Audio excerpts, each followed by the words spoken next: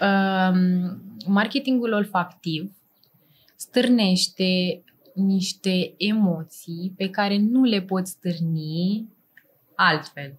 Deci accesează o căsuță acolo închisă prin care tu poți să o deschizi doar cu mirosul, cu ceea ce simțim noi ca uh, miros. Și uite, referitor de a, la asta, am o poveste uh, care m-a învățat pe mine ce înseamnă uh, cu adevărat importanța acestui uh, aspect.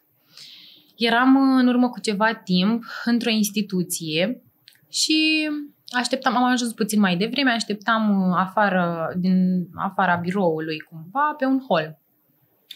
Și am simțit uh, dintr-o dată un miros de plăcinte calde, de mere.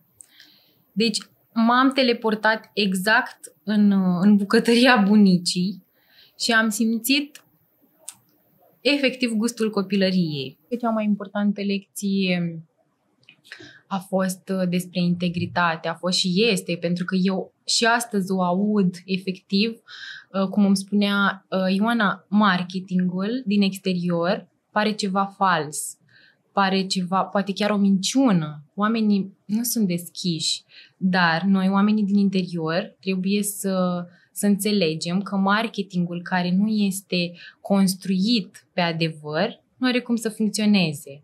Și sincer și astăzi câteodată o aud așa în, undeva în spate. Bine v-am regăsit la un nou episod de Podcast Bezi. Sunt Viera Dimici. Astăzi discutăm cu Ioana Cadar. Este manager marketing la cofetăria Palibo, despre care cu siguranță cunoașteți și astăzi aflăm uh, povestea ei. Până atunci vă reamintim că partenerul nostru principal este balcan.ro și aveți 10% reducere în momentul în care faceți cumpărături pe site dacă folosiți codul BZI10. Bună Ioana și bine ai venit în studioul nostru. Mă bucur să te revăd. Bună, Viorela, și eu mă bucur tare mult uh, că sunt uh, astăzi alături de tine și salut uh, pe această cale toți urmăritorii tăi. Uh, Ioana, să știi că uh, ceea ce faci tu este destul de vizibil, cel puțin ceea ce faci la Poliba, Palibo. Și astăzi o să vorbim mult despre marketing, dar și despre povestea ta. Uh, iar până atunci te întreb cine este Ioana Cadar ca să ne spui tu cum te vezi. Uite, este o întrebare pe care eu mi-o adresez aproape în fiecare dimineață și mi-o adresez tocmai pentru a nu uita uh, care este esența mea și să nu-mi uit esența de om bun. Uh, dincolo de toate adjectivele, rolurile, statuturile, uh, eu consider că ne căutăm esența aceasta de ce suntem ca oameni. Dar, um, dincolo de treaba asta, o, să, o să-ți spun că Ioana Cadar, uh, profesional vorbind, este un om care încearcă să înfrumusețeze lumea prin activitatea sa de marketing manager. Cum vezi această activitate și cât de importantă este pentru um, succesul unei companii? Este esențial. Marketingul a devenit uh, vital pentru pentru orice business uh, care își dorește să evolueze, uh, cumva nu ai cum să reușești în momentul uh, actual să, să devii vizibil fără, fără marketing, fără strategii de marketing, fără social media, prezența pe social media. Este, este vital. Mm-hmm. De câți ani ești în acest domeniu al marketingului? Aproape 5. Am început așa timid, dar uh, cu pași uh, repezi, aș putea spune, am, uh, am evoluat și m-am dezvoltat pentru că este o, o latură foarte importantă, consider eu, în marketing. Marketingul este un domeniu care se schimbă și se dezvoltă acerb și atunci și eu a trebuit să, să țin pasul cu toate informațiile și este, este minunat să, să fac asta acum și să mă simt, să am încredere în mine, pentru că informațiile acestea pe care le-am acumulat ușor, ușor, mi-au dat o încredere. De-a lungul uh, acestor ani, ce s-a schimbat la nivel de marketing? Ce ai observat tu? Pentru că tu, de fapt, mai degrabă ești specializată pe uh, promovarea companiilor uh, care au activitate în industria alimentației. Mm-hmm, exact. În trecut ai fost uh, la o brutărie pe partea de marketing și acum ești la cofetăria Paribo. Da, într-adevăr sunt specializată, să zic așa, pe zona asta alimentară. Este un domeniu foarte ofertant uh, în ceea ce privește marketingul și um, cumva evoluția, ca asta am mai întrebat, evoluția pe care am simțit-o eu în, în marketing și cum s-au schimbat uh, lucrurile de la început până în prezent, să zicem că s-a mutat puțin zona de, din offline în online. Uh, și ăsta poate fi un uh, avantaj sau un dezavantaj, depinde. Mm-hmm. Eu în continuare încerc să fac prin acțiunile mele uh, activități de marketing offline și să mă implic și în offline, nu doar în online, deși este categoric importantă și activitatea în, în online și toate aspectele ce țin de, de digitalizare, să zic așa. Tu vii din domeniul bancar, și aș vrea să te întreb dacă a avut uh, uh, vreo influență faptul că vii din acest domeniu asupra ceea ce faci acum în marketing. Da, e, e mult spus, cred că vin din domeniul uh, bancar. Într-adevăr, am avut uh, și această activitate pe parcursul uh, anilor ce au trecut. Nu o perioadă lungă, dar am avut această experiență.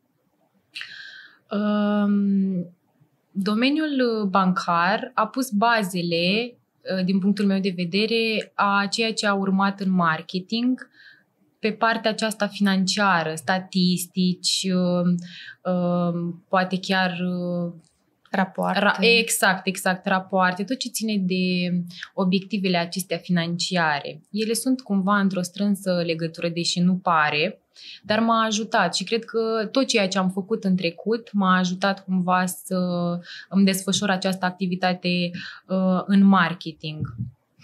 Mi-ai spus că la un moment dat uh, simțeai că nu ți-ai găsit vocația și de fapt a durat ceva timp până ai înțeles uh, care este misiunea ta și ce îți place să faci.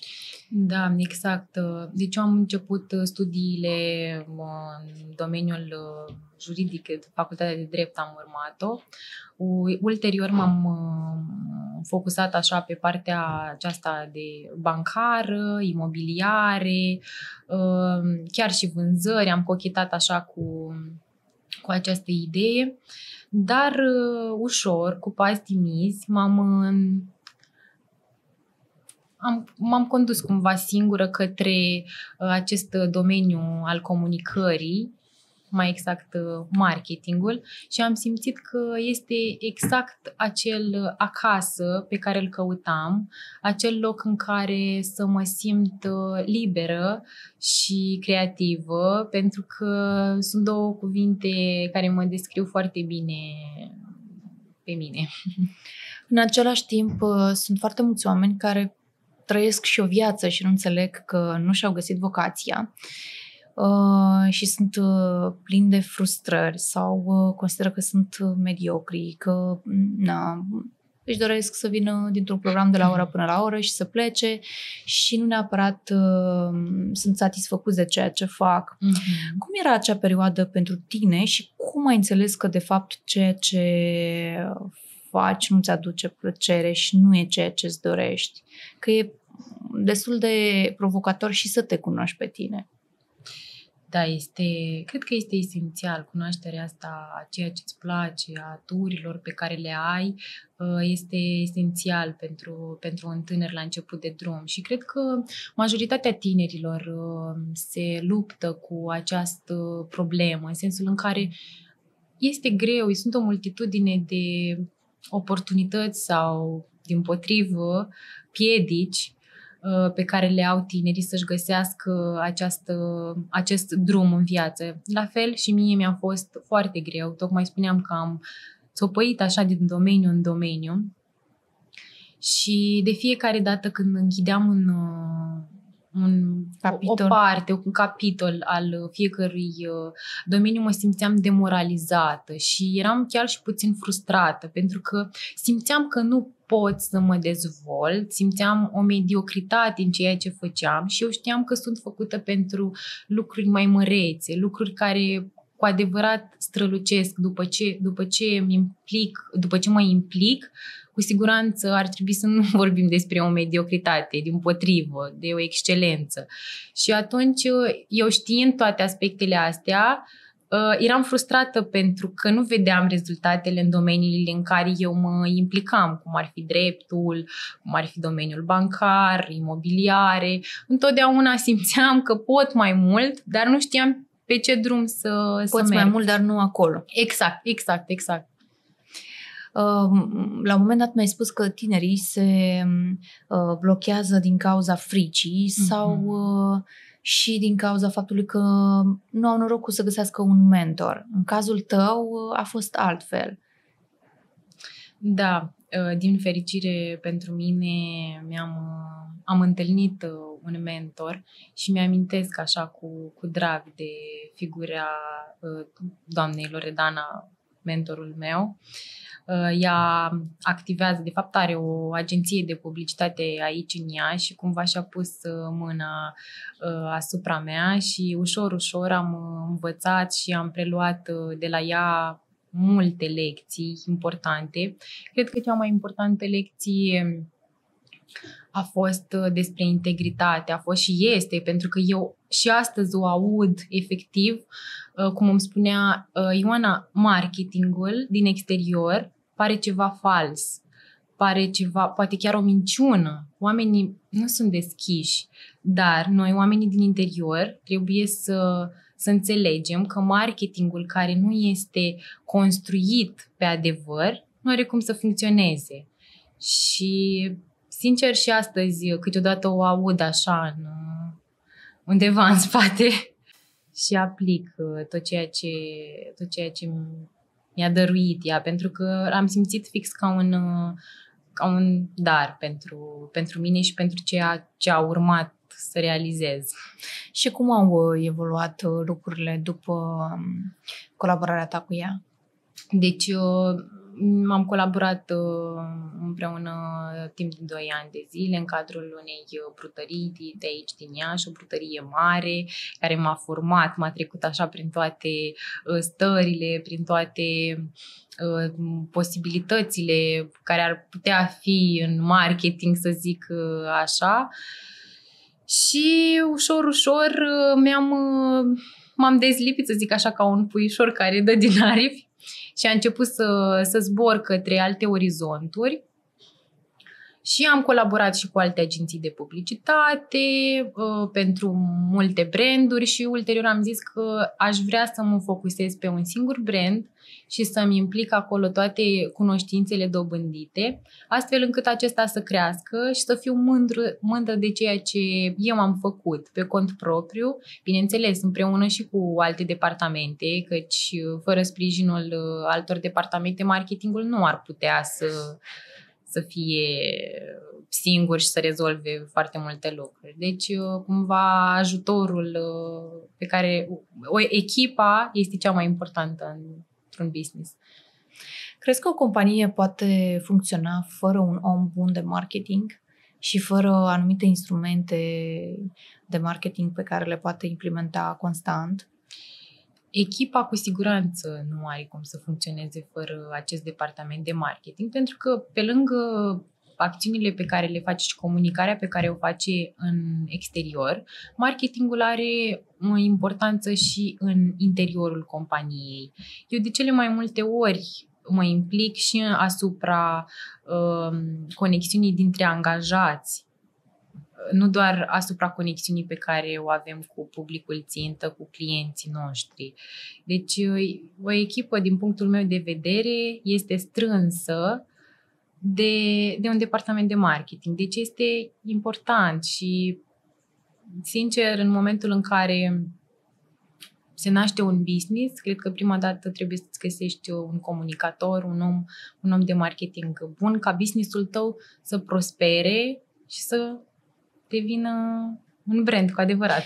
Sunt companii care în primii ani de viață uh, sunt taxați foarte mult pe publicitate, investesc foarte mult în promovare, au o echipă foarte bună de marketing. La un moment dat, uh, în schimb, se opresc și uh, atunci când deja și-au creat uh, o anumită bază de clienți și vânzările merg de la sine, pentru că în orice companie, dacă mm, au un produs bun, la un moment dat o parte din vânzări merg de la sine, de la sine. Fără, fără a fi uh, promovate sau fără să mai uh, reamintim.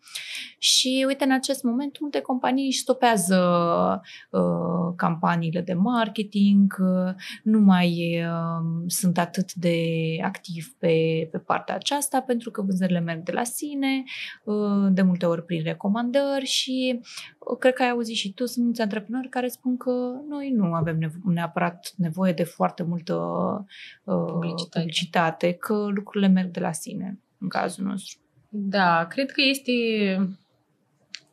o idee proastă să gândești așa. Este o idee proastă să gândești așa, pentru că dacă te uiți în orice domeniu, perseverența și continuitatea acțiunilor tale este cheia către succes. Nu ai cum să, să crezi că la început investești în bugete de marketing, în uh, campanii publicitare și ulterior să te oprești brusc și să nu continui ceea ce faci ar fi corect. Nu ai cum, adică este esențial ca imaginea să aibă un fir continuu. Firul acesta nu trebuie tăiat. În momentul în care tai un fir, părțile s-au prăbușit. Nu, nu au cum să, să mai fie lipite. Poți să le lipești, dar nu e aceeași imagine impecabilă. Și marketingul asta își dorește să creeze această imagine impecabilă asupra unui brand, continuitatea asta. Uite, inclusiv și să schimbi omul de marketing este este greu să faci treaba asta, pentru că un om vede într-un fel lucrurile și le uh, construiește o poveste și are un ton pe care îl aplică, un timbru vocal pe care și îl imprimă uh, pe brand. Și vine o altă persoană cu alte idei, poate mai diferite sau poate la polul opus față de cele, cele, cele, cele ale altei persoane și schimbă cu totul imaginea uh, brandului. Iar schimbările astea afectează și impactează uh, publicul țintă, clientul, îl defocusează. Iar noi ce ne dorim prin marketing e să creăm o conexiune continuă. Cred că e un cuvânt foarte important, continuu și perseverența. Îți două mm. cuvinte.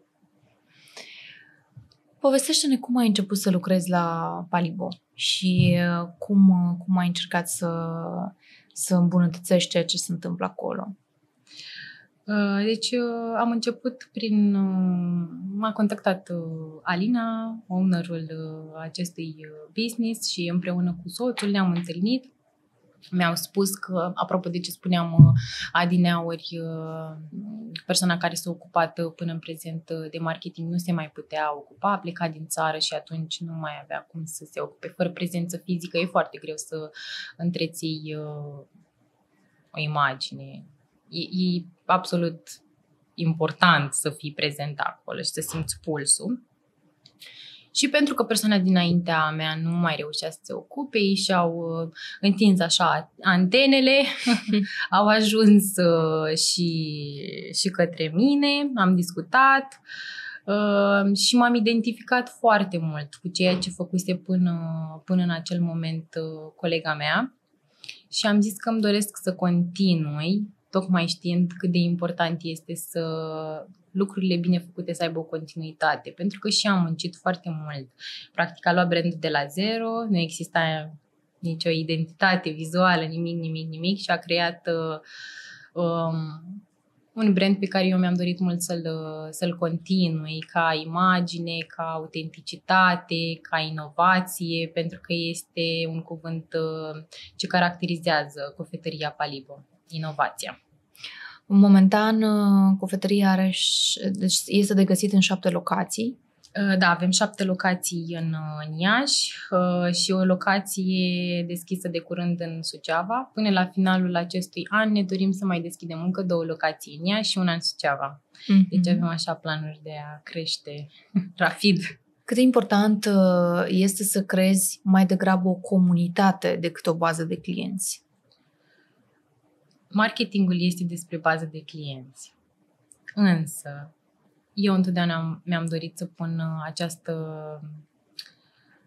bucățică emoțională, să zic așa, în cifre și în statistică, pentru că eu sunt un om foarte creativ și cred că e mult mai important o comunitate decât o bază de date pe care să o accesezi așa din când în când cu promoții, cu discounturi, cu comunitatea se creează prin uh, sentiment. Iar sentimentele unesc oamenii pe o perioadă lungă de timp. În schimb, baza de date nu cred că ne ajută prea mult, sau ne ajută, dar doar la statistici.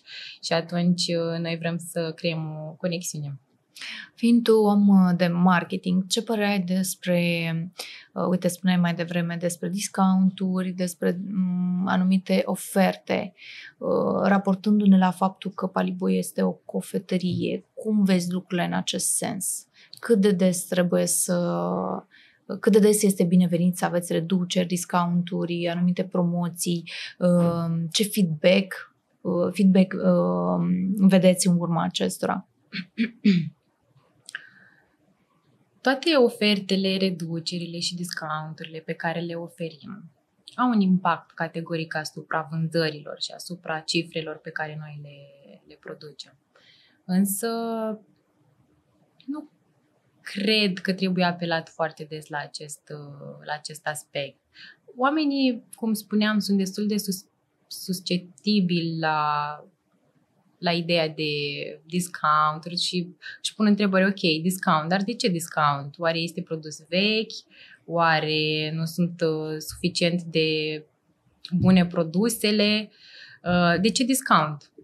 Și atunci uh, preferăm să nu apelăm la acest de ce al clientului și să investim în comunicare, în comunicarea care implică ideea de fresh, produs proaspăt, produse uh, cu ingrediente naturale, pentru că noi avem produse cu ingrediente naturale, avem produse fără zahăr. Este un, uh, o chestiune care ne diferențiază la momentul uh, actual de multe alte cofetării din Iași, chiar și din județ. Faptul că noi uh, avem produse cu, cu zahăr din uh, ștevie este, este o chestie cu care ne mândrim. Mm-hmm. Uh, cât de mult uh, pun valoare uh, clienții voștri pe asta? Cât de mult interesează? Sau cum ați observat voi această tendință că, uite, cumpără de la voi pentru că sunt desertul din ingrediente naturale, sunt cu zahăr de stevia? Eu cred că este un aspect tare important pentru noi, mai ales în uh, dezvoltarea noastră. Noi am pornit în urmă cu 5 ani uh, de la un brand practic inexistent și am ajuns astăzi aici. Toată lumea știe despre cofetăria Palibo, foarte puține persoane nu au aflat. Și marea majoritate a clienților noștri uh, care au și copii, clar știu de produsele noastre fără zahăr, deci cumva toată lumea, majoritatea părinților care vin în cofetării cu copii se ducă direct către uh, tortul fără zahăr sau prăjiturile fără zahăr. Apropo de asta, urmează să avem un proiect tare mare uh, nu știu dacă să zic numele brandului încă, că aș vrea mm-hmm. să fie așa o surpriză, dar este un brand mare pentru copii și avem o colaborare cu, cu ei și scoatem un lanț de produse speciale pentru copii, cu produse naturale, fără zahăr și cumva așa blânde cu, cu ideea de copil. Mm-hmm, foarte frumos. Ai spus că e vorba despre un brand foarte mare și cunoscut. Cum uh, l-ați accesat? Uh, Vorbim despre faptul că Palibo este practic un brand local chiar dacă sunt sigură că aveți Mhm. și unul din scopuri să vă extindeți și mai mult, uh, momentan înregistrați o, loc- o locație în afara Iașului Mhm. și uh, de multe ori, uh, atunci când e vorba de un business local, uh, chiar dacă e foarte bun și ceea ce faceți e foarte bine, Mhm. e destul de greu să ajungi la branduri mari. Da, cumva întâmpini tot felul de bariere. Uh, într-adevăr, a fost greu, însă pentru noi este esențial să participăm la tot felul de evenimente. Evenimentele sunt așa punctul nostru forte. Noi nu spunem nu niciodată provocărilor și uh, evenimentelor uh, din, de toate tipurile. Noi suntem prezenți. Fie oferim o, o sponsorizare, fie suntem prezenți doar pur și simplu, ori, ori eu, ori Alina, suntem prezenți la acel eveniment și încercăm să ne creăm conexiuni. Conexiunile acestea uh, ne ajută de cele mai multe ori să, să creștem, pentru că fără, fără oameni, nu, fără ajutorul uman, partea asta umană, nu ai cum să, să ajungi uh, sus.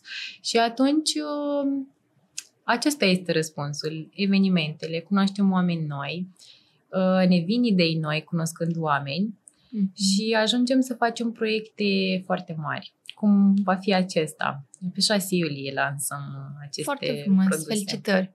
Asocierea de imagine. Este și um, aceasta un, uh, o metodă bună de, de marketing. Mhm. Um, cum vezi tu a, a- asocierea de imagine în momentul în care um, promovezi un brand și ești pe partea aceasta de marketing? Asocierea de imagine este un aspect cu două tăișuri. Ori te poate duce foarte sus, pentru că aso- te asociezi cu o imagine, cu un om, cu o ființă umană și asta te poate ajuta enorm, pentru că oamenii în momentul în care asociază un brand cu o figură umană reacționează diferit.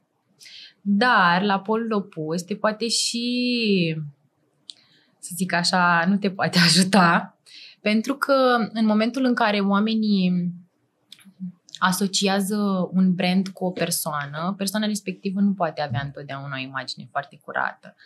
Și atunci uh, poți să pici în cealaltă capcană, să zic așa, și să, să fie un efect de vampir, cumva imaginea să fie absorbită sau dacă personalitatea este prea, ma- prea mare, să absoarbă imaginea brandului și oamenii să nu mai vadă brandul, ci doar personalitatea.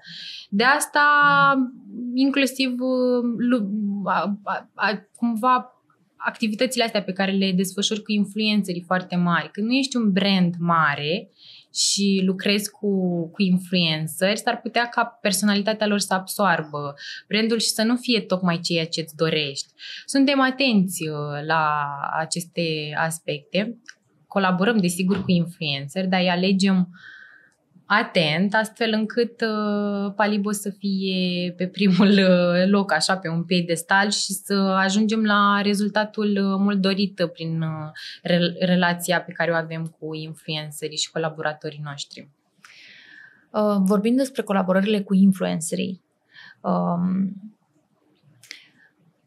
să ne spui câteva exemple cum îi selectați și cum vedeți voi asta. Hai să ne imaginăm că ne ascultă acum cineva care la fel este pe partea de marketing sau și-a deschis un business în acest domeniu și vrea să știe la ce trebuie să fie atent în momentul în care lucrează cu un influencer și ce ar trebui din start să înțeleagă. Pentru că de multe ori um, uh, această metodă, cât la fel este un instrument de promovare prin influencer, Mhm. prin lideri de opinie, uh, este un instrument foarte bun de promovare, dar dacă știi să, să-l accesezi. folosești, știi să-l accesezi și știi exact ce așteptări să ai. Mhm.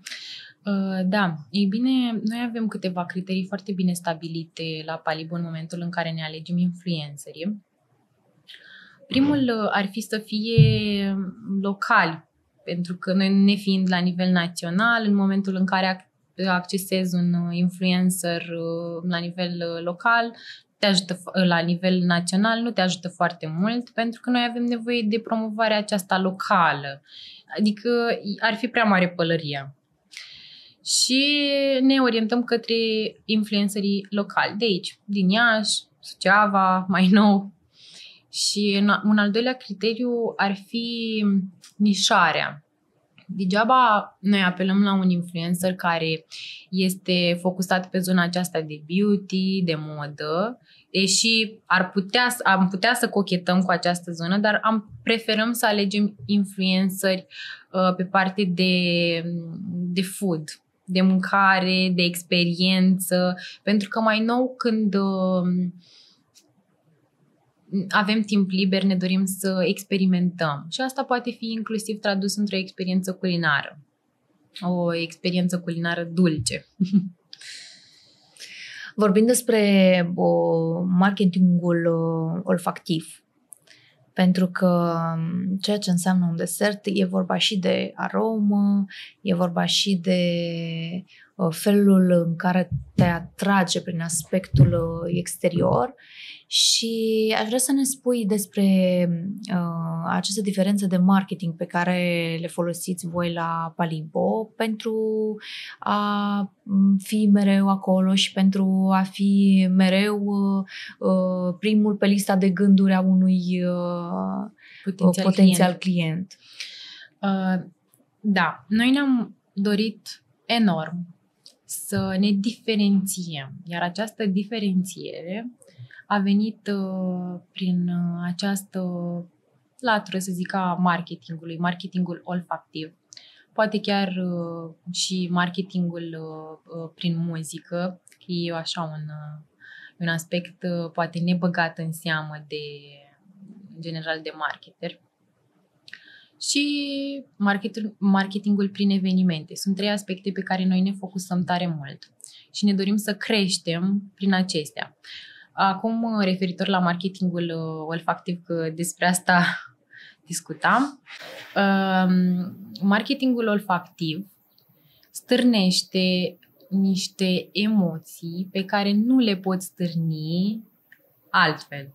Deci accesează o căsuță acolo închisă prin care tu poți să o deschizi doar cu mirosul, cu ceea ce simțim noi ca uh, miros. Și uite, referitor de a, la asta, am o poveste uh, care m-a învățat pe mine ce înseamnă uh, cu adevărat importanța acestui uh, aspect.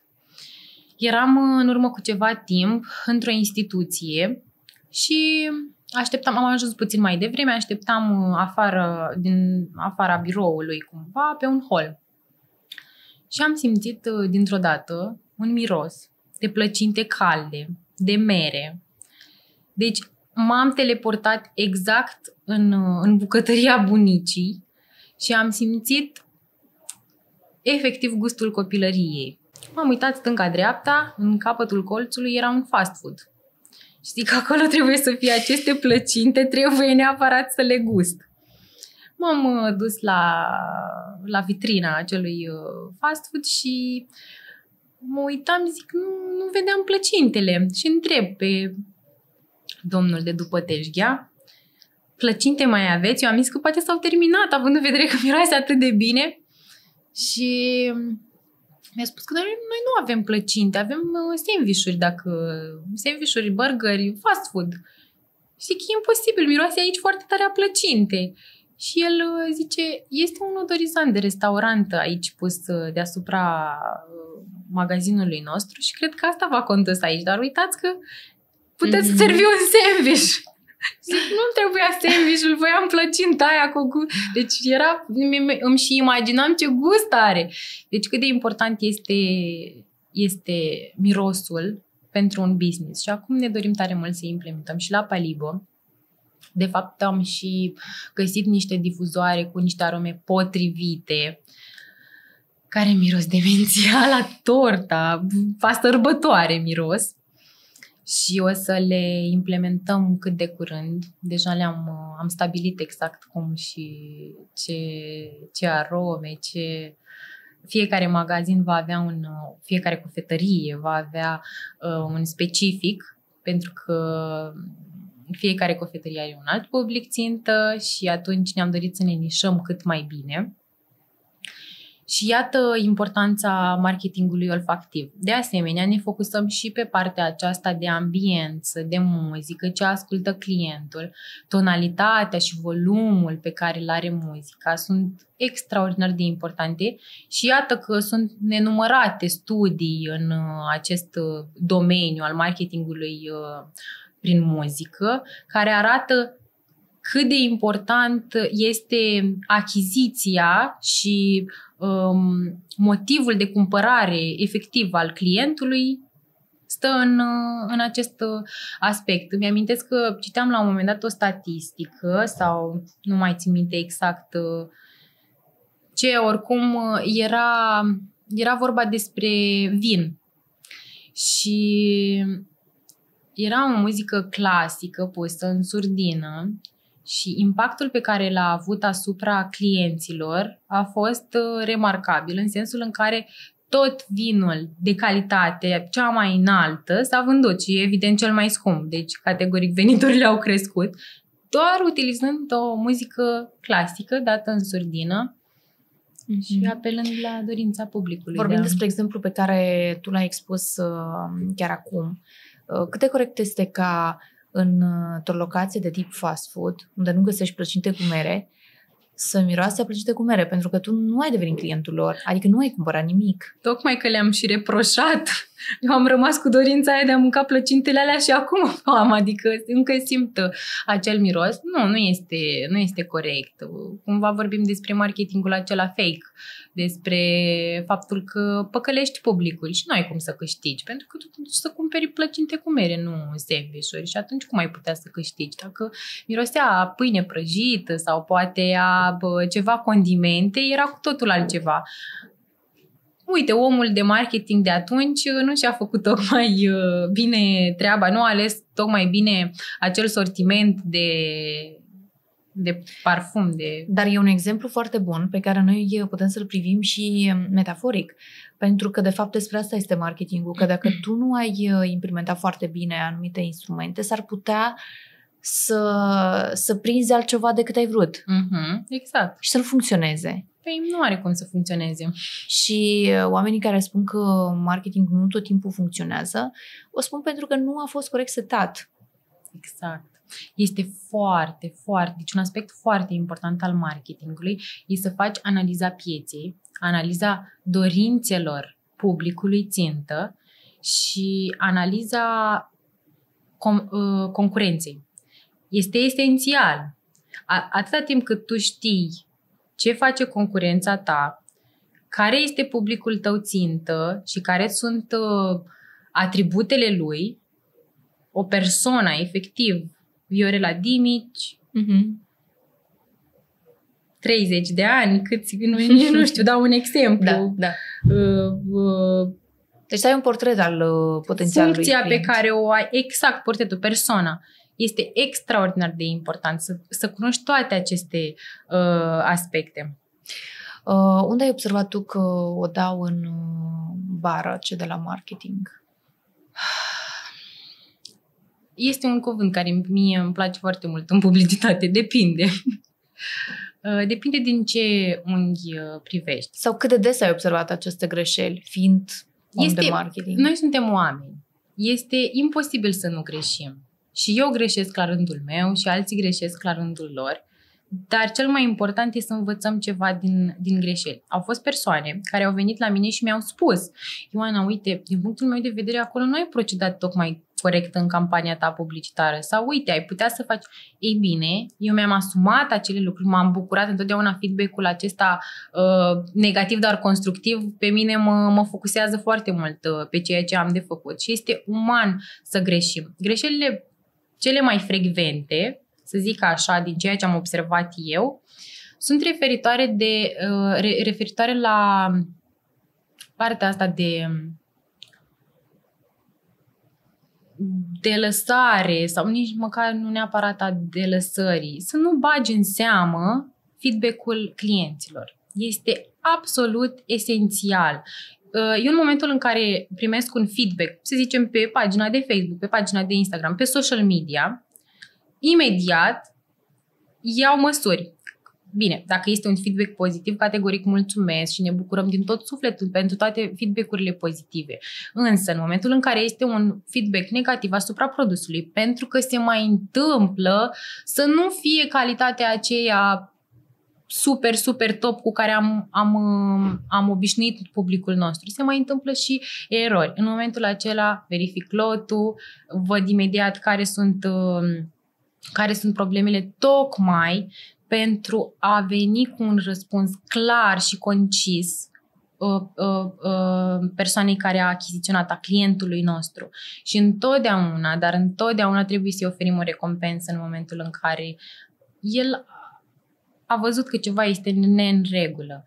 Este important să dai importanță acestui, acestui aspect. Este esențial. Noi, cu un feedback lăsat așa în neant, nu, nu, nu, a cui rămâne? Deci nu ai cum să-l, să-l eviți. Să... Și sunt foarte mulți marketeri care fac uh, lucrul acesta sau îți șterg recenziile. Să zicem că primești o recenzie proastă, te deranjează, nu e nicio măsură, ștergi recenzia și te comporți ca și cum nimic nu s-ar fi întâmplat. Ăsta este un, un aspect tare, tare rău. Mm-hmm. E o greșeală. Mm-hmm. Faptul că nu dăm atenție feedback-urilor uh, negative, recenziilor uh, de acest gen, uh, ne face să creăm o barieră dintre noi și uh, potențialul client, pentru că noi nu înțelegem nevoile și atunci uh, produsul nostru nu are cum să se vândă foarte bine dacă nu înțelegem nevoia clientului. Categoric, produsul întotdeauna este uh, realizat, ca să zic așa, sau modificat în funcție de nevoia clientului. Dacă tu ai un produs pentru care care nu îndeplinește nicio uh, dorință a unui client, cu el vinzi, adică nu, mm-hmm. nu ai cum să ajungi la un public țintă, indiferent cât de nișat este el. Trebuie să știi exact ce condiții, ce dorință a clientului îndeplinește.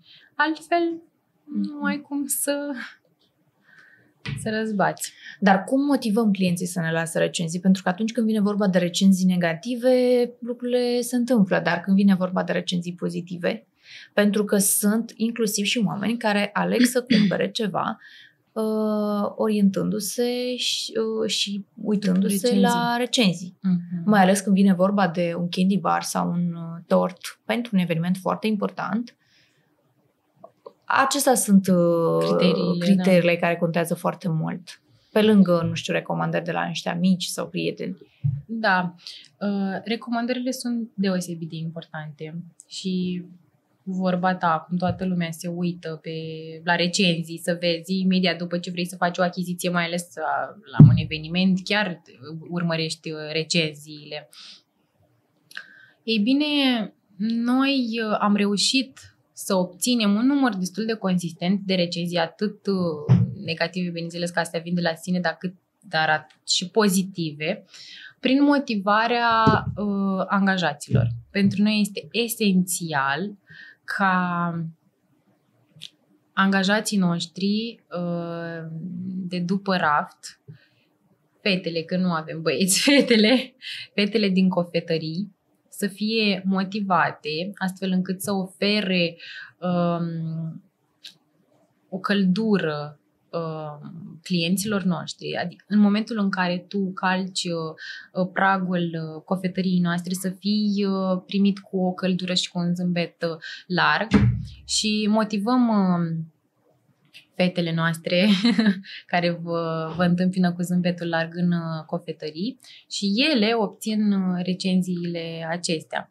Sunt uh, persoane care vin să-și bea cafeaua la noi în cofetărie și mai servesc și un biscuit în fiecare dimineață și sunt extraordinar de bucuroși pentru conexiunea pe care au creat-o cu doamna de după teșghea.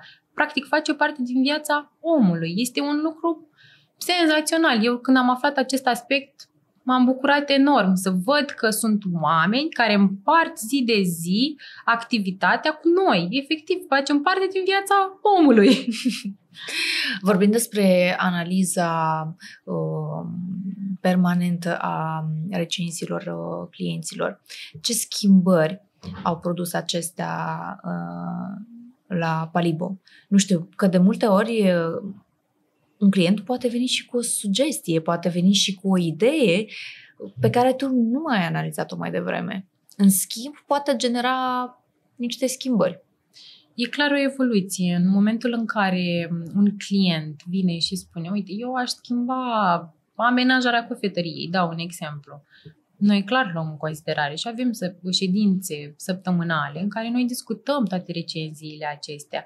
Și de asta zic că este un, un aspect important uh, feedback-ul uh, clienților. Deci eu notez toate recenziile care vin într-o săptămână și la finalul acesteia, când avem uh, această ședință cu toate departamentele, discutăm și vedem, luăm în considerare absolut tot ceea ce, ceea ce ne spun uh, clienții noștri și hotărâm, putem să facem. De multe ori poate este și imposibil pentru noi să facem unele schimbări dorite de client, dar întotdeauna ne luăm în considerare și analizăm ceea ce ne transmit.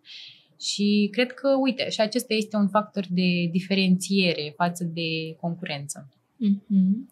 Vorbind despre prezența voastră la evenimente, cu un candy bar, cu un tort, am văzut recent pe pagina voastră un, uh, un moment foarte frumos. Uh, mirii și-au decorat chiar ei uh, tortul de la voi la nuntă. Mm-hmm. De la cine a venit această idee și dacă a fost greu să faceți față provocării? Pentru că sunt sigură că multe Mm, cofetărie ar putea refuza, fiind un tort foarte mare, e foarte greu de, de realizat, realizat transportat. de transportat. Uh, însă voi ați, probabil ați simțit aici și uh, o doză de promovare pentru ceea ce puteți face voi. Nu doar a fost vorba de livrarea unui serviciu sau produs. Da, noi suntem deschiși uh, mereu la provocări. Pentru noi a fost o bucurie să vină um, mirii către noi și să ne ceară o... Ce și-au dorit ei? Ce v-au spus? Deci au dorit un uh, tort inițial uh, simplu, că și deci am primit o poză de la ei, au spus că e un tort cu un diametru normal inițial, simplu, alb, am zis că sigur, desigur putem să îl realizăm și ca ei după să-l decoreze cu, cu fructe proaspete deasupra. Și am fost tare deschiși, le-am spus da clar, după care a venit o solicitare ulterioară, să zic așa, care ne-a surprins foarte tare. Era vorba despre diametru tortului, un metru, un metru jumătate, este foarte mult, e, nu, nu știu, E imens. Da, este imens. E un, un, un tort cu astfel de uh, diametru. În primul rând este foarte greu de transport, de realizat. Nu mai spun că cofetarii noștri au, și-au de, au depus mult uh, efort pentru a, a-l realiza. Uh, dar după transportul, șoferii noștri și-au, uh, și-au bătut capul, efectiv, au demontat o ușă ca să poată fi uh, livrat acel tot, tort impecabil. Pentru noi, iarăși, este un aspect tare important ca produsele să ajungă impecabil. Livrarea Dar cum să cu... a fost păstrat acel tort în frigider? Deci a fost uh, realizat efectiv în, cofetă, în laborator și distribuit într-o cameră frigorifică de acolo a sălii, dar cu o mașină mare, îți dai seama, ca să intre un, uh, un mhm. tort cu un diametru, cu așa un diametru. E, necesită o atenție și o implicare clar deosebită, cu care poate multe cofetării nu s-ar fi bătut la, nu, nu și-ar fi bătut capul, nu s-ar fi implicat, tocmai pentru că chiar dacă e un plus de imagine, nu, nu merită efortul. Pentru noi merită orice efort, toate evenimentele sunt deosebit de importante. Noi uh, trăim alături de fiecare uh, mir prin, uh, prin produsele cu care suntem, prin torturile pe care le realizăm și la noi nu există, nu se poate. Uh, poți veni cu încredere să, să realizezi orice fel de tort, orice tip de tort, cu orice ingrediente, suntem deschiși. Ce alte solicitări um, provocatoare ați primit și la care ați răspuns pozitiv? Sunt tot felul de solicitări provocatoare. Lumea în ziua de astăzi nu mai uh, este cum era odată. Uh, să vină la o cofetărie, vreau și eu să fac comandă de un tort, uh, să fie cu zmeură și ciocolată și gata. Ei bine, nu. Lucrurile se schimbă și oamenii și dorințele clienților se schimbă, sunt din ce în ce mai provocatoare. Uite, de exemplu, îmi vine acum în minte um, ultima cerință a unei uh, a unei doamne uh, ce își dorea să sărbătorească Save the Date-ul uh, pentru nuntă și și-a dorit un tort realizat în formă de inimă și deasupra mesajului cu data de Save the Date uh, avea o plasă, să zic așa, uh, care îi dădea foc cu o lumânare uh, chiar pe data respectivă și ea efectiv se deschidea tortul se deschidea. Mm-hmm, deci este mm-hmm. ceva... A văzut pe, pe, pe TikTok, Pinterest, da, pe TikTok, pe, pe deci, Instagram. Deci, toate chestiunile astea din afară, torturile care sunt excepțional uh, lucrate și oamenii își caută mult mai mult inspirația acum, inspirație pentru uh, torturi, pentru și momentele sunt realizate cu altfel de implicare și atunci uh, vin către noi pentru că știu că noi nu spunem nu. Și reușim, mereu reușim. Bine, avem Ce și soluție un... ați găsit atunci? Am găsit imediat materialele necesare și am realizat uh, acel tort. Asta voiam să spun că avem și o persoane foarte dedicate în, uh, la noi în laborator, care efectiv își doresc să, să, să dea tot ce este mai bun și să dorința clientului să fie îndeplinită. Și de cele mai multe ori uh, reușim. Uh, cât de greu este să aduci un produs nou pe piață sau să-l poziționezi ca fiind unic atunci când um, pe piață deja există o competiție în uh, acest domeniu. Cum, cum încerci să-l, să-l, să-l faci să fie diferit? Pentru că tu îmi spuneai că pentru voi e foarte important să vă diferențiați. Cum faceți asta uh, astfel încât să aveți doar asocierea cu ceva diferit sau cu, cu ceva ce uh, poate fi realizat? Unicitatea aceasta a produselor nu vine neapărat din a scoate un produs care nu există pe piață. Adică de cele mai multe ori nu poți să inventezi uh, roata de la cărăță încă o dată. Este greu, dar ne focusăm să, ca unicitatea produsului să vină din povestea pe care o creăm asupra acelui produs, pe designul produsului, pe poate modul în care utilizez acel uh, produs, pentru că sunt tot felul de uh, moduri diferite de a savura poate produse și uh, prin asta ne dorim noi să, să realizăm unicitatea aceasta și bineînțeles prin tot felul de uh, combinații a, ingredien- a ingredientelor uh, inedite. De exemplu, imediat uh, acum pe 14 uh, iunie vom lansa un tort nou apropo de, divers, de, de, de uh, diversificarea produselor. Noi suntem în permanență cu produse noi pe, la raft, tocmai pentru ca uh, publicul să nu se plictisească.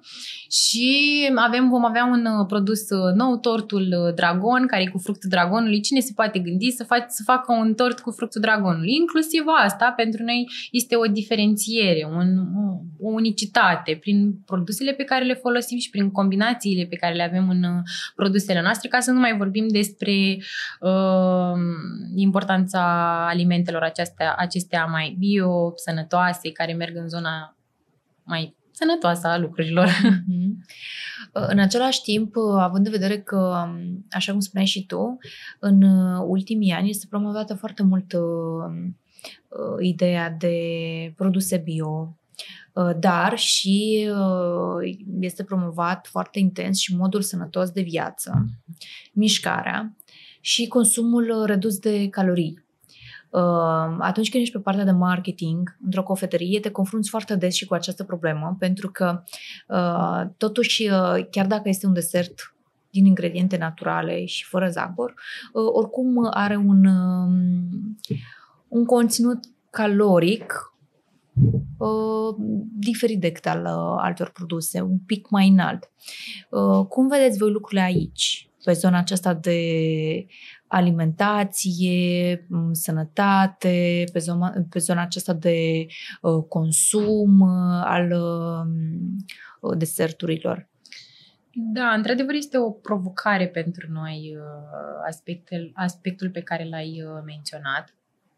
Tocmai de aceea am venit în întâmpinarea publicului nostru țintă cu produse fără zahăr, chiar dacă au un conținut caloric peste medie, să zic așa, au un avantaj, sunt fără zahăr, deci sunt mai sănătoase. Uh, dincolo de asta, noi spunem așa, alimentele și în special uh, dulciurile, prăjiturile, sunt hrana pentru suflet. Hrana pentru suflet este esențialmente pentru noi, oamenii, nu ai cum să te gândești când îți rănești sufletul că te îngrași. Nu ai cum. Deci, uh, cumva lucrurile acestea vin de la sine. Nu, nici nu ne gândim foarte mult că unii oameni ar putea să să spună ok, nu mă duc la cofetărie pentru că mă îngraș. Pentru că noi știm că oferim hrană pentru suflet și atunci toate lucrurile se rezolvă. și știți că prin uh, prăjiturile voastre puteți să bucurați. Uh... Exact, exact. Oricum, ciocolata și zahărul în special are efecte dovedite științific. Nici nu mai discutăm despre bucuria pe care o poate oferi, senzația un depresiv, da, să zic așa, un depresiv care mănâncă dulce, deja se simte mai bine. Și atunci neglijăm puțin celelalte aspecte, tocmai pentru ca noi să fim uh, bucuroși. E dovedit. Oamenii bucuroși trăiesc mai mult. Deci, hai să mâncăm dulciuri. în același timp, restricțiile au un impact uh, emoțional uh, negativ. Exact, exact. Și uh, e foarte îmi vine foarte greu să cred că există oameni care uh, respectă o dietă foarte strictă toată viața și cred că numărul lor este foarte mic și mai degrabă e vorba mm, de sportiv, de performanță, dar chiar și ei au perioade în care Sigur. mănâncă ceea ce își uh, doresc și uh, cred că mai degrabă secretul este în uh, moderație și în... Uh, Echilibru. Da. Este foarte important să, să mănânci echilibrat și să ai uh, câte puțin din fiecare. E așa, un desert vine, are un loc special în burtică. nu, nu știu. Din punctul meu de vedere, uh, după o cină sau o masă de prânz, tot merge ceva dulce. Nu ai cum să sare această să-ți neglijezi această dorință. Eu funcționez pe să dau corpului ceea ce îmi cere. Și atunci, cu siguranță, nici nu să te afecteze foarte mult. Cred că e și puțin dus la extremă toată această problematică cu alimentația, să fie cât mai sănătoasă, să... Mă uitam în trecut, oamenii nu aveau chiar aceeași implicare, să zic, asupra sănătății și cu toate că este foarte important să, să mâncăm echilibrat și să fim echilibrați cu tot ceea ce înseamnă viața. Dar uh, hai să ne focusăm pe ceea ce ne face plăcere și cu siguranță lucrurile vor fi bine pentru noi. Care din campaniile desfășurate de voi a funcționat cel mai bine? Și ați observat un feedback foarte bun și ați înțeles că, uite, aceasta este uh, direcția pe care trebuie să o aportăm din ce în ce mai mult. Campania care a funcționat cel mai bine. Păi ce să zic acum, toate au funcționat. da, categoric unele fun- au funcționat uh, mult mai bine. De regulă sunt cele care fac uh, apel la emoții. În momentul în care, uite, mi trece acum pe minte campania de Valentine's Day, în momentul în care face apel la sentimentele și iubirea pe care o poartă oamenii pentru semenii uh, lor, acestea funcționează cel mai bine. Uh, și cred că în orice domeniu, nu neapărat în acest domeniu uh, alimentar, în momentul în care creezi o poveste, un sentiment și trăiri asupra produsului sau produselor sau serviciilor, uh, nu ai cum să, să nu excelezi cu campaniile tale de marketing. De cele mai multe ori încerc să pun și part, partea aceasta sensibilă în campaniile pe care uh, le realizăm, chiar dacă unele sunt și despre cifre și procente și discounturi, apropo de ce vorbeam la început, îmi doresc să îmi pun amprenta aceasta uh, emoțională, să zic așa, care unește, unește sufletele și oamenii. Mm-hmm. Vorbind despre cifre, uh, de fiecare dată, după fiecare campanie, e normal să, să analizezi, să vezi cum, cum a funcționat pe partea aceasta de cifre. Și uh, vorbind în același timp și că nu, nu toate campaniile pot funcționa 100% uh, așa cum te aștepți. Cum îți setezi așteptările atunci când construiești o campanie de, de marketing? Așteptările pe care mi le formulez, să zic așa, în momentul în care realizez o campanie, pleacă clar de la obiective. Ele sunt în strânsă legătură, iar obiectivele sunt și în funcție de uh, banii pe care îi uh, implici în acele campanii. E parte, și partea financiară este extrem de importantă uh, într-o campanie. Însă, plecând de la ideea că cumva marketingul uh, este în strânsă legătură cu partea uh, financiară, uh, campaniile nu au cum să să treacă neobservate, așa dacă te implici și pe partea de sponsorizare și pe partea de promovare și în toată această parte. Mm-hmm. Vorbind despre uh, bugetul alocat pentru promovare, ce reguli aveți voi? Nu știu, pentru că te întreb asta pentru că de multe ori bugetul pentru o anumită campanie nu își merită uh, efortul. Pentru că analizând prețul produselor tale și analizând câte produse ar trebui să mm-hmm. vinzi pentru a-ți uh, întoarce acea investiție, nu, nu e relevant. Mm, aș vrea să știu părerea ta în această zonă, pentru că cineva poate spune că, uite, uh, da, noi știm exact că participând într-un, uh, în cadrul unei campanii sau, nu știu, făcându-ne vizibili pe pagina unui uh, influencer sau pe pagina unei vedete, noi știm că nu avem cum să ne întoarcem investiția, în schimb este o investiție pe termen lung, este o investiție în imagine. Iar altcineva poate spune că nu. Orice fac pe partea de marketing, mă uit cum îmi pot uh, crește vânzările investind o sumă mai mică și după aia uh, întorcându-mi ceea ce am investit. Bugetele noastre clar diferă în funcție de perioadă. Uh-huh. Este absolut clar că în perioada sărbătorilor, de exemplu, vom avea bugete mai ridicate, pentru că atunci dorința clienților noștri este mai ridicată și poate, uite, noi avem niște cozonaci fantastici. Ne dorim să-i facem mult mai vizibili și atunci și partea aceasta, bugetul este puțin mai ridicat. Însă, dincolo de aceste promovări și sponsorizări financiare, noi ne dorim să uh, creștem și organic. Și este important să vedem și re- rezultatele muncii noastre pe partea aceasta de promovare online organică.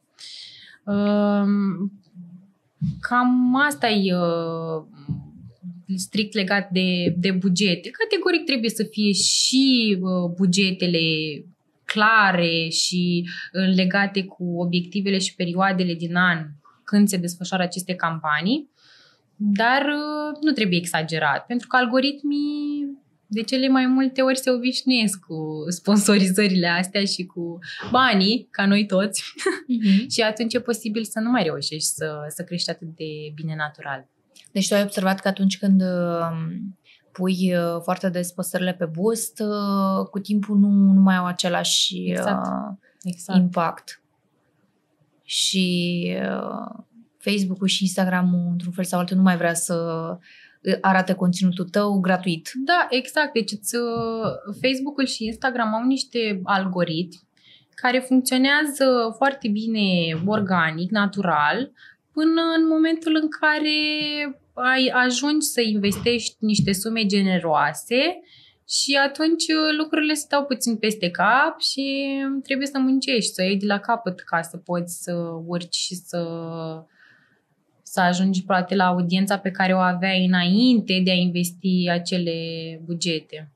În același timp, acum oamenii de marketing au uh, foarte multe instrumente gratuite pentru a um, crește vânzările companiei. Și aici mă refer la faptul că TikTok, Instagram și Facebook, de fapt, sunt platforme pe care noi le putem folosi gratuit. Nu achităm un anumit abonament, nu achităm nimic. Putem să le folosim gratuit și uh, creând, creând conținut uh, uh, creativ, impactant, uh, analizând foarte bine trendurile, văzând la ce reacționează oamenii cel mai bine, putem să avem o creștere a vânzărilor gratuită și putem să avem vizualizări foarte bune gratuit. Ceea ce, în ce trebuie să investim în cazul ăsta ar fi ideile și ar fi să identificăm uh, corect uh, ce conținut facem astfel încât să uh, atragem uh, clienții. Însă asta se poate întâmpla, așa cum spuneai și tu mai devreme, organic.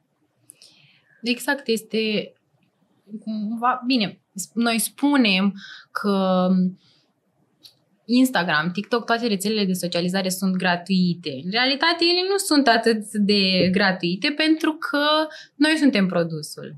Și atunci, cumva, tu îți oferi imaginea ta pe rețelele de socializare. E și asta o plată până la urmă.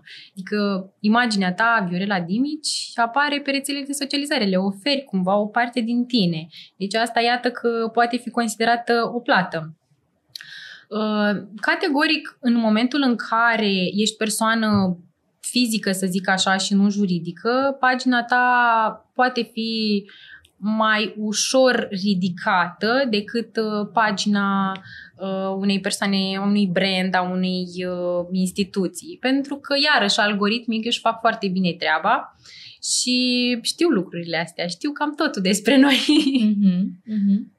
Și dacă e indicat că este o afacere, Uh, postările nu, nu funcționează nu funcționează atât, atât de, mm. nu, nu sunt vizibile atât exact, de bine. Exact, exact, exact. Nu. Eu văd diferența de pe, să zicem așa, pagina mea personală și pagina Palibo, să dăm un, un exemplu, o comparație. Mm. E clar că Palibo, având mulți uh, urmăritori, are vizibilitate, însă numărul de like-uri, de aprecieri uh, e mult mai mic față de o poză poate cu uh, mine sau cu o altă persoană care mai este și de sex feminin, că atrage sexul feminin și atunci clar e o discrepanță. Deși și prăjiturile dau foarte bine pe, pe mm-hmm. cameră. Sunt apetisante. Citeam un articol și cineva spunea că trebuie să fim conștienți de faptul că oamenii uh, accesează Instagram, TikTok și Facebook pentru a se distra, pentru a se relaxa. Ei, uh, în momentul în care tu deschizi Instagram, tu nu te gândești că vreau să deschid Instagram să cumpăr ceva. Clar. Uh, respectiv, uh, antreprenorii ar trebui să țină cont de asta și inclusiv oamenii din marketing să înțeleagă cum să prezinte un produs care trebuie să fie vândut, pentru că, na, acesta este esența unei afaceri, dar să fie prezentat astfel încât eu să nu-mi dau seama că mie cineva îmi vinde, vinde. ceva. Mm-hmm. Da, este, uh, uite, e foarte interesant uh, ceea ce ai spus și, într-adevăr, oamenii când intră pe rețelele de socializare nu intră uh, ca într-un magazin. Poate că într-un magazin intri puțin stresat, ai bani, nu ai bani, te gândești la treaba asta pentru că tu știi că va urma să achiziționezi ceva. Ei bine, în momentul în care intri pe rețelele de, de uh, socializare, tu ești relaxat la tine acasă, într-un fotoliu, poate bei un ceai, nu ești atât de focusat și uh, de stresat. Și lucrurile, dacă o campanie este foarte bine sau o postare sau efectiv un reels pe care omul vede în momentul în care dă uh, scroll, s-ar putea să prindă mult mai bine în subconștientul lui decât în momentul în care vede un produs pe raft. Mm-hmm. Mm-hmm. Ioana, noi îți mulțumim că ai ajuns astăzi la podcast BZI și ai împărtășit câteva dintre secretele uh, tale uh, de marketing și ceea ce faci uh, la Palibo. Sunt sigură că din acest dialog cei care îl vor urmări vor putea extrage câteva sfaturi și să, să vadă cum își pot dezvolta și ei business-ul. Viorela, îți mulțumesc și eu tare mult. Mereu mă simt tare bine alături de tine în interviuri și mi-a plăcut tare mult atmosfera și discuțiile pe care le-am, le-am purtat. Îți mulțumesc! Cu cel mai mare drag! Aici se încheie episodul nostru de astăzi de podcast BZI. Nu uitați, uh, faceți cumpărături pe site-ul balcan.ro, mai ales cei care au un mod uh, dinamic și activ de viață și au nevoie de proteine, suplimente și minerale. Să știți că puteți să folosiți codul BZI 10 pentru că vă aduce o reducere de 10%. Tot ceea ce trebuie să faceți este să nu uitați să le introduceți la finalizarea comenzii. La revedere!